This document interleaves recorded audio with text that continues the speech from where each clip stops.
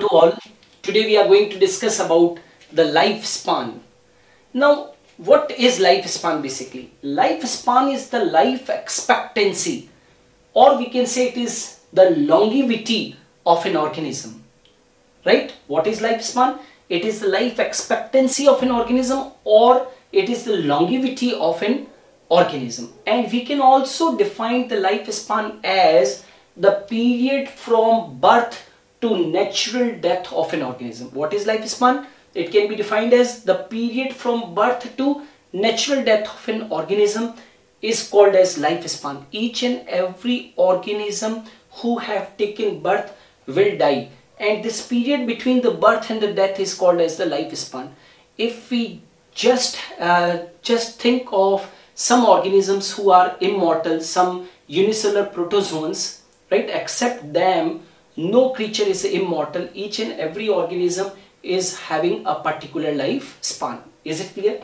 And one more thing before starting the lifespan of various organisms you must know that lifespan of the organisms are not necessarily correlated with the size of organism. What i want to say right? Lifespan of organism should not be necessarily correlated with the size of organism.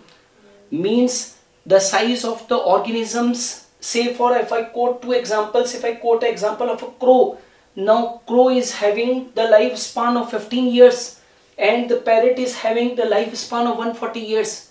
Now the crow and the parrot are almost same in size but see the difference in their lifespan. There is a big difference 15 years and 140 years. So the thing to be noted here is that lifespan of the organism should not be necessarily correlated with the size of organism. Is it clear?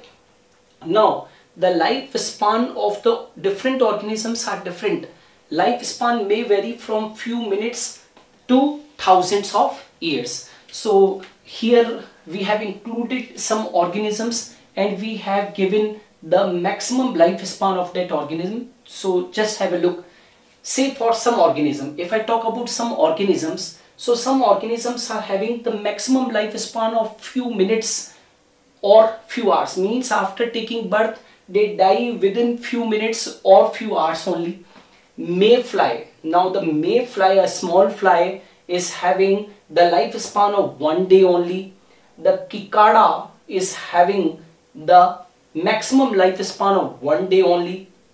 Butterfly, what you see, is having the lifespan of one to two weeks only fruit fly or we can say it is the Drosophila which was used by T.H. Morgan in genetics. The fruit fly is having the lifespan of one month only. A rice plant is having the lifespan of four months. A wheat plant is having the lifespan of only five months. Rat is having the lifespan of four years. A rose bush, right, is having the lifespan of 10 years.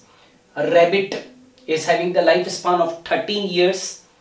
Crow is having 15 years of lifespan. Cow is having 25 years of lifespan. And one thing I want to say that these are approximate maximum lifespans. In books, uh, the data may vary, right? Uh, say for, for the cow, in some books it is written 22 years. So don't be confused about that one. We are talking about the maximum lifespan. Is it clear? So the cow is having the maximum lifespan of 25 years. Banana plant is having the lifespan of maximum 24 uh, 25 years. Monkey is having the maximum lifespan of 26 years. Dog having the lifespan of 25 years. Cat 35 to 40 years of lifespan. Whale 37 years of 37 years of lifespan. Horse is having the lifespan of 50 years. Crocodile, 60 years of lifespan.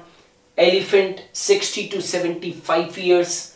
Eagle, right? Eagle is having the lifespan of 90 years. Parrot, 140 years. Tortoise, okay, 100 to 150 years.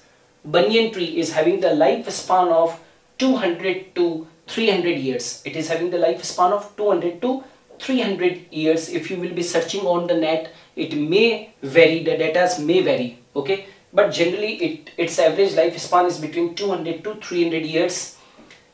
Peepal tree, the religious tree of India is having the lifespan of 2000 years to 3000 years.